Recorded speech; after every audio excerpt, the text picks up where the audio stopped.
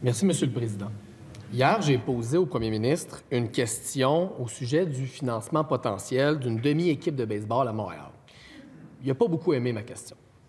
Pourtant, c'est une question importante. À quoi devrait servir l'argent des contribuables québécois? À quoi devrait servir le temps précieux des ministres élus par le peuple québécois? Autrement dit, à quoi devrait servir l'État québécois?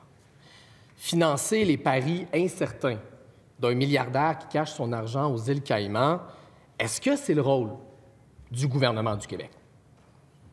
Il manque d'argent pour le logement. Il manque d'argent pour nos écoles. Il manque d'argent pour l'environnement. Tout ça est une question de priorité, en fait.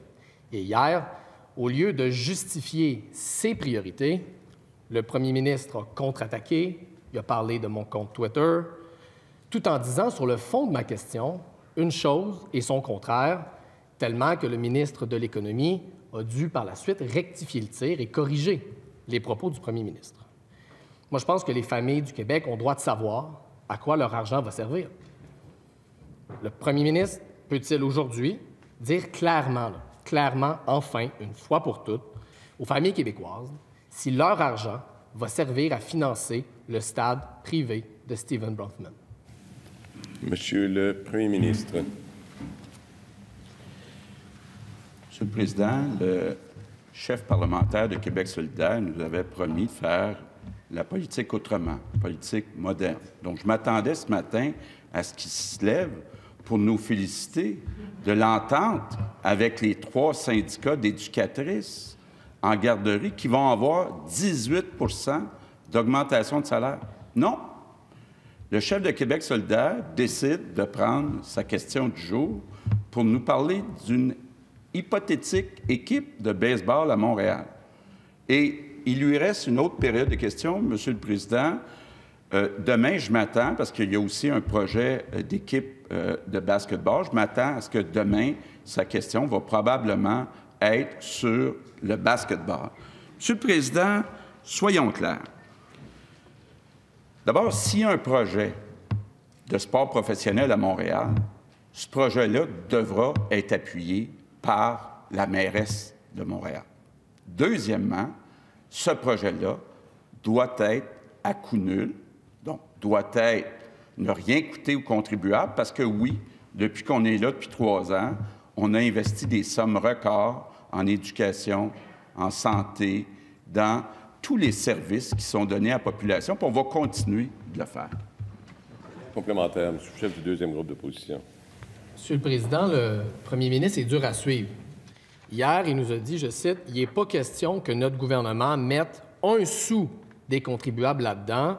Aujourd'hui, il dit ça va être à coup nul.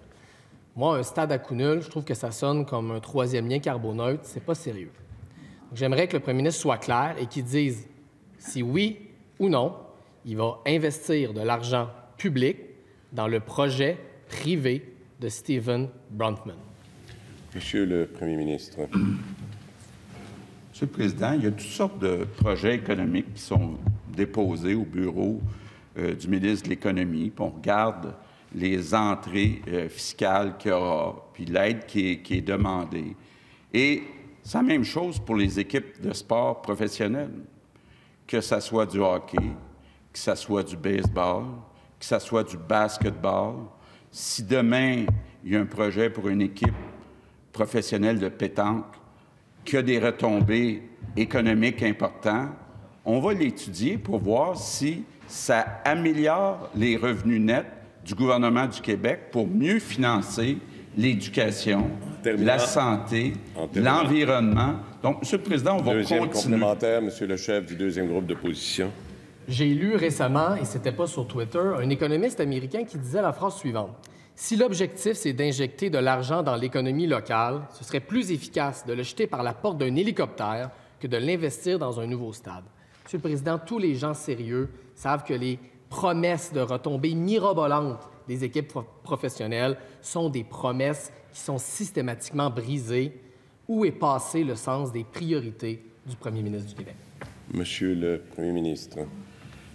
Monsieur le Président, toutes les entreprises qui ont des projets pour créer des emplois payants pour les Québécois, pour amener des revenus additionnels au gouvernement du Québec, on les regarde, on les étudie. Contrairement à Québec solidaire, notre parti, ce n'est pas un parti dogmatique. On n'est pas un parti idéologique comme Québec solidaire. On est un parti pragmatique au service des Québécois.